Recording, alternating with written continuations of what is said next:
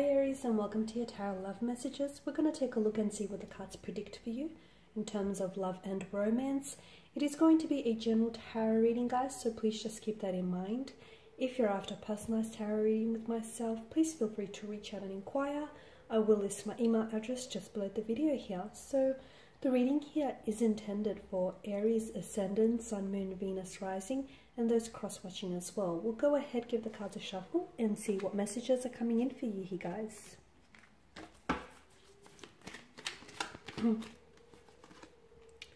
okay, you have the Page of Swords.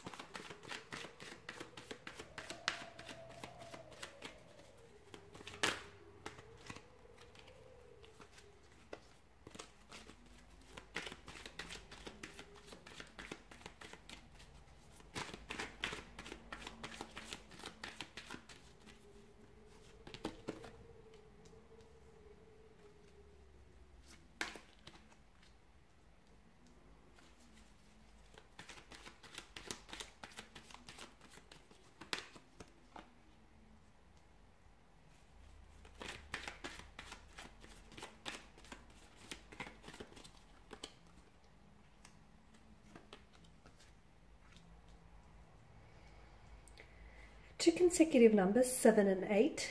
Uh, sorry, no, not two consecutive numbers. Um, the number eight here has appeared twice. You've also got two pages.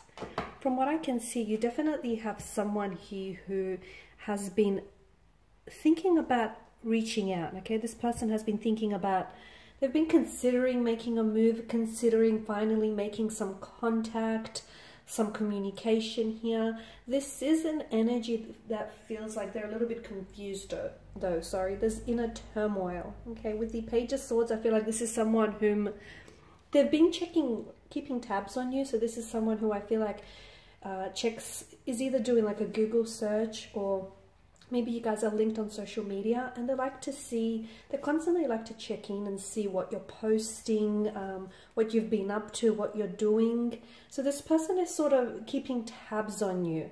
I feel like for some reason this could be a uh, romantic energy that has pulled away in the past. This could be someone whom you've ended things with. It could be someone who's ghosted you. It's likely to be someone who's walked away from you. It's likely also to be someone who sort of just ended things abruptly, whether it was their initiation here or whether things just ended between the two of you and this person just, you know, distanced themselves emotionally. I can see that recently here, this person has been thinking about you a lot and they've actually been considering here reaching out and communicating with you. They have been sort of um, holding themselves back from what I can see with the Page of Swords and the presence of the moon. There is a lot of confusion. I feel like this is someone whom is composing a text message and just as they're about to hit send to you they stop themselves okay? And they reread it and then they reword it and then they panic and they think okay well what if that you know you don't receive it? Or what if you don't respond to it? Or what if you don't read it? What if you don't see it for whatever reason? This person is like really in their head about them trying to reach out to you or them even trying to make a move to you they've been giving this a lot of thought it definitely has been you know, marinating in their mind here whether or not to contact you, whether or not to reach out to you. This person could also be a little bit hesitant because they're scared because of how they left things with you in the past. So if they did ghost you, they're not necessarily sure how they're just going to come back and try and make amends, okay? Whether or not you will be responsive to their energy, whether or not you'd be willing to entertain this or even hear their side of the story.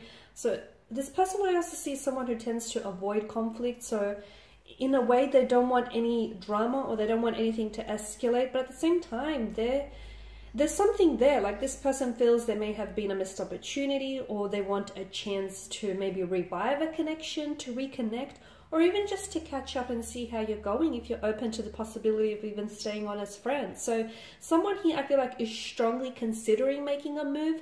Someone is um, strongly considering about contacting you, about reaching out to you, but I can see that they're nervous with the Page of Swords. I can see that there's anxiety in their energies here with the Moon card as well. They're scared, okay? A lot of fear in their energy. Now, they could just be prone to depression and anxiety disorders, but I also feel like this is their reaction to them communicating with you.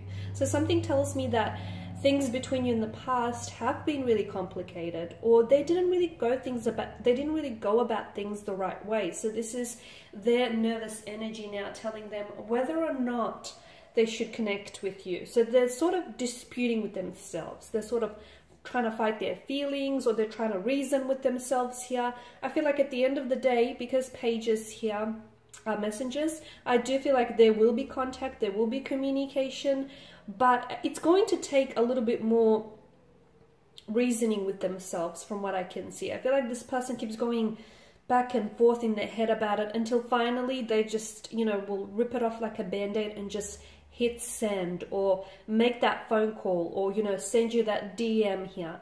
It's finally going to take place, but you probably wouldn't, without you necessarily realizing, um, it may just seem like a simple text to you, but best believe that behind the curtains, this person has given it so much um, thought, a lot of thought. So a lot of anxious energy with this person, but I do see a connecting energy here, someone from the past, someone who I feel like this person has a lot of, they either have a lot of issues here, okay, now this person may, I'm seeing that there's some emotional trauma or even emotional triggers here that have surfaced around this person recently um, or in the time when the two of you disconnected, but I see this person coming back here. I feel like they have been working on themselves, and I feel like it's taken them a long time to um, either get closure on the situation. So if you're the look, if the tables are actually reversed and if you're the one that's walked away, then this person was definitely hurting. They may not have chased you, um, not in the way that you wanted them to, or you feel like this person, you know, gave up so easily, but that's not the case. They're pulled away to do a lot of inner work, okay, and to process their emotions. So they've had a hard time between this distance that's occurred between the two of you. But I do see a, a message coming in from this um, individual. It does feel like a younger energy or it does feel like this person is a little bit less experienced when it comes to relationships and connections here. So they still have a long way to go, a lot more growing and learning, but they're getting there, guys. So definitely someone whom I feel like you've had history with, you had a connection with this person, you guys had something going, and for the most part it was something good. But I feel like the reason why this person pulled away is because there's out of fear or out of like an anxiousness or anxiety or even insecurity. So those got the better of them. I feel like this person, their feelings for you started to grow real. Things started to get really real for them. And it wasn't until it got to that point that this it, it scared them off the fact that they just you know they realized they were catching feelings for you and the fact that they realized this could be something serious that in itself scared them off but now that they went away and did some thinking, I feel like this person, they've undergone a personal transformation and they've undergone some transitioning in their life. So I feel like this person is in a better place emotionally. So hence why when they will connect with you, they'll be a lot more communicative, they'll be a lot more expressive, and it'll feel like they have a lot more maturity with them. Okay, there's like this renewed sense of energy with the presence of the death card here. So someone who's walked away here, maybe this person thought that, you know, there were greener pastures elsewhere, or maybe this person thought that they wanted to keep their options open, or, you know, for whatever reason, um, they've walked away here. They definitely, I feel like, are wanting, they have this strong desire to come back and to reconnect and hopefully give this connection another go. Because you have the Eight of Wands and this is a card of you know movement a lot of movement a lot of communication a lot of progression. So i definitely see a shift in their energies for the better. So someone comes back and it feels like this time around they're a lot more ready here guys. And i feel like there's you guys are gonna in terms of the attraction and the passion you guys are gonna pick up where you left off there's definitely a connection that exists between the two of you Okay, and these are your messages. Thanks for watching and listening. Please show your support by subscribing to the channel, liking, sharing, commenting. If you're after a personal reading, feel free to connect. Otherwise, bye for now.